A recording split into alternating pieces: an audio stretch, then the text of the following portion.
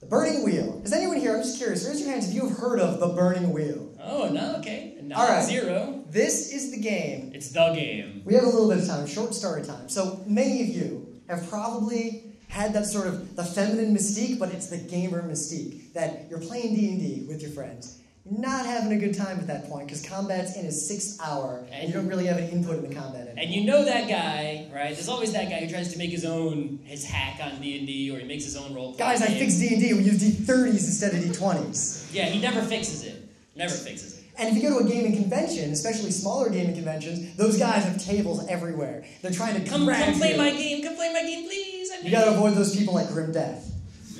So I was at this convention in New Jersey called like UberCon. I went by myself and I'm walking around. One of those guys grabbed me, and next thing I know, I'm sitting at his table, ready for some misery. And the game was actually really cool. I'd never seen anything like it before. So I was playing D and D under the philosophy of yeah, all games are the same bullshit as D and D. I gotta play something, right? I'm not gonna play one of those weird hacks these weirdos made, right? Played We're enough of those it. in my Everyone knows D and D. We're sticking with it. So I come back, I'm like, you gotta come to this con. If that weird guy's there again, we're gonna play his game. Yeah, listen, I don't trust any weird guy's game. It probably is awful. I think he only came to play so he can make fun of me later. So we go back and we play this Well, you game. know, I have a, you know, but no, you don't knock it if you haven't tried it policy. Yeah. Right? It's like I haven't tried Australia. I didn't form an opinion on it until now.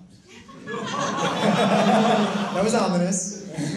so we also grab our friend Pete, who played Mustafa bin Mustafa. And we all go back, and This is before there. he was Mustafa bin Mustafa, by the way. So we get there, and we're ready to play this game. And the guy, the guy, Luke Crane, who made this game, hands us three character sheets and goes away and says, I gotta go to the bathroom, I'll be right back, and you play. So, So- we're waiting, we're looking at our character Do you have a sheets. picture of the character sheet? I don't have a picture of the character Okay, sheet. so at the top of the Burning Wheel character sheet, the first thing, the first thing in the character sheet is beliefs and instincts, three of each. And it pretty much says on my character sheet, you are the human thief. You need to get money, or else the mafia boss is going to chop off your feet. I think it was arms. Doesn't matter. Hands, something. He was going to chop something off, and I didn't want that to happen. I'm playing the elf, because that's what I do. I'm that kind of, I'm one of those people. The elf. I love nothing more than to sit for four hours role playing high elven court bullshit. so I'm reading the elf sheet and it's like, that dwarf's family abandoned that sword and they will not get it back ever. Your uncle, blah, blah, blah, blah, blah. And I look at Pete, who hasn't even looked at his character Who's the sheet, dwarf? And I'm like, you don't deserve that sword. We don't know the rules of this game. All we read is the little belief section on the character sheet. We don't know how to play this game. We don't even know what kind of dice So he looks need. at me, he looks at his character sheet, goes, looks back at me and says, Your father betrayed my father. this starts getting pretty heated, and Luke Crane, we realize he's back, so we stop. We're like, okay, we're ready to start. And he says, Oh, proceed. The game tricked us into role playing just from the character sheet.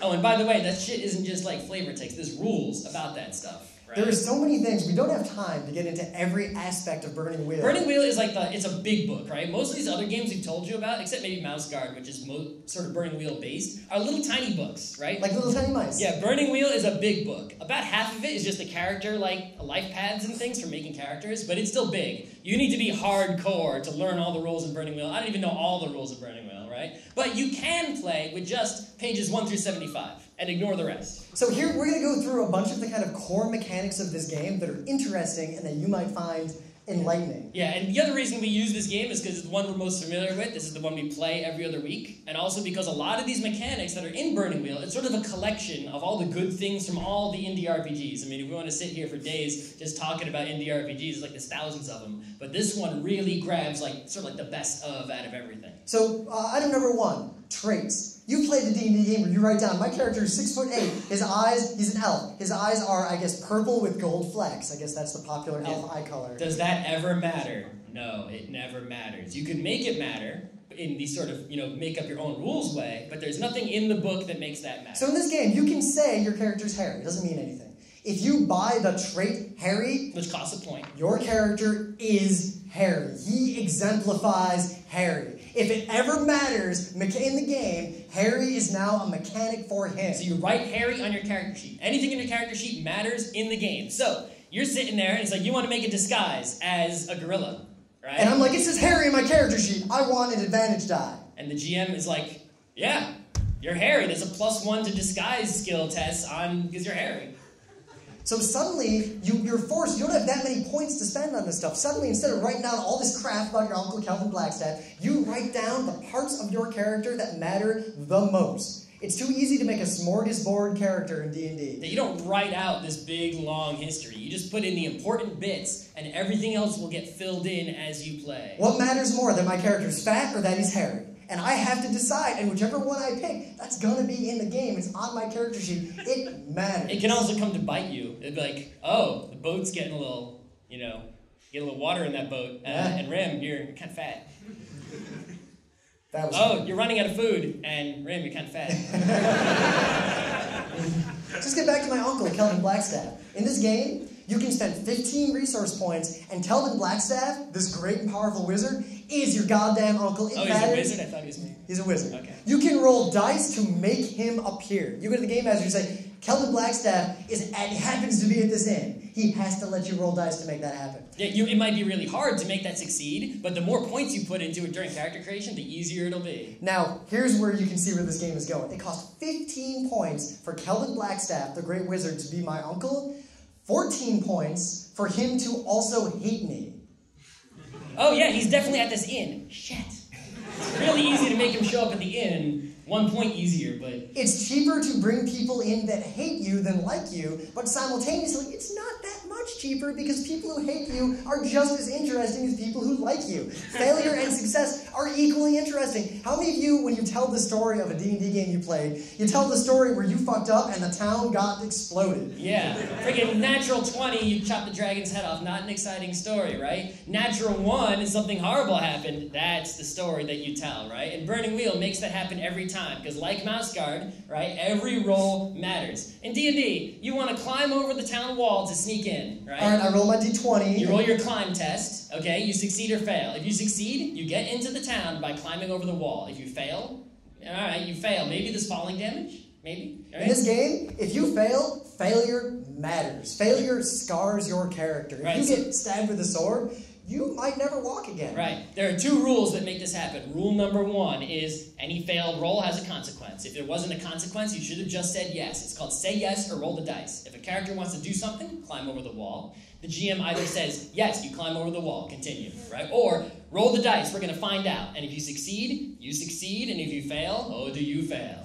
Something bad happens when you fail. It might not be immediate, right? But if something bad will happen for every failed roll, there will be a consequence, and then usually another roll to deal with the consequence, right? Rule number two: let it ride. Right? D and D, I take ten, I take twenty. Let it ride is like no, you failed to climb over the wall. You may not try to climb over the wall again unless it's a completely different circumstance, right? Like you got a rope, or you it's now daytime in the town, someone's helping you, or Never again the game master continuing to roll, make you roll stealthy until you eventually fail, and he can do the thing he's been planning to do all along. Right, it's like you succeeded at your stealthy, you are now stealthy until the situation changes pretty significantly. You're just hidden, period. End of story. Now we only have about five minutes left, so we're going to move a little more quickly. Three more really interesting mechanics. One, currency, buying stuff. That's a stat. I roll that just like everything else. Do I want to buy a sword? Well, roll some dice. Yes, I now have a sword. Nope, I couldn't afford it.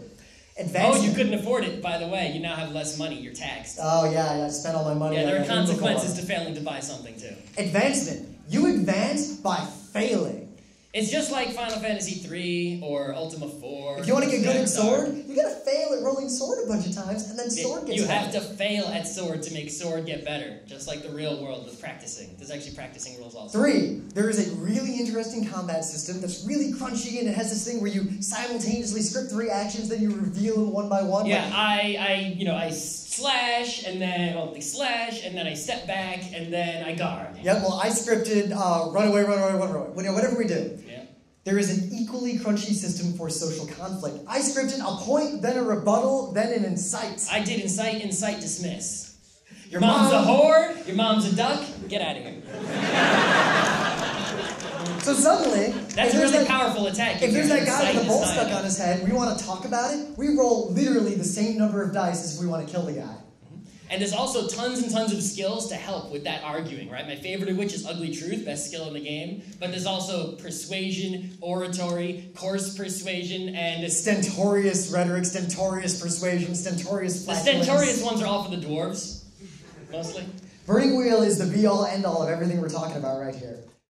So if I'm going to tell the story of my character here, I'm not going to talk about my strength stat. That's not interesting. And it turns out that that's the only part of my character that is character, that is story, who he knows, what he's done, where he's going, why he fights for what he fights for. That's it. And that whole character sheet, that's it.